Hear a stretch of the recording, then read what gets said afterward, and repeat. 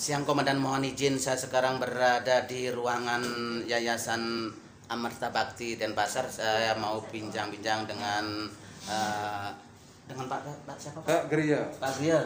Pak Gria sebagai apa Pak?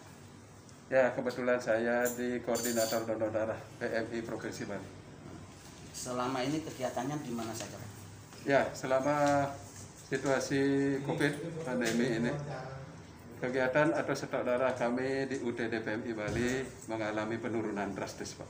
Ya, itu disebabkan banyak hotel-hotel yang tutup karyawan dirumahkan, kemudian instansi-instansi dengan protokol kesehatan social distancing yang eh, harus dilakukan, sehingga kegiatan donor darah ditunda, Pak.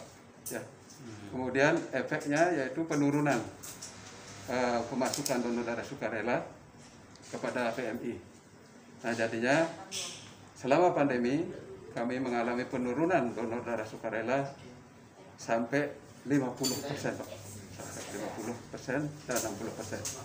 Nah setelah di eh, berlakukannya eh, new normal, kita berangsur-angsur perlahan-lahan banyak eh, masyarakat, instansi-instansi seperti sekarang mengadakan donor darah sehingga lambat laun mudah-mudahan kegiatan ini eh, nanti terus akan bertambah sehingga stok darah kami akan normal kembali Pak.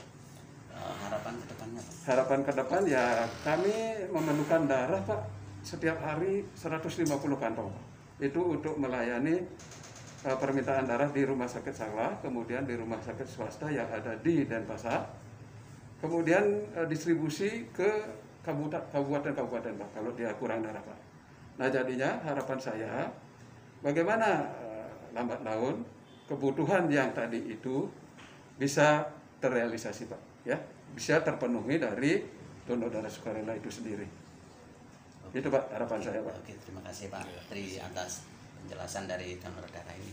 Oke, Komandan atas laporan kami dari eh, Yayasan Bakti eh, Yayasan Ar- Pendidikan eh, Yayasan apa Pak? pendidikan Pendidikan Arma Amarta. Armata Bakti Denpasar. Sampai jumpa lagi Komandan dari media Bayangkara.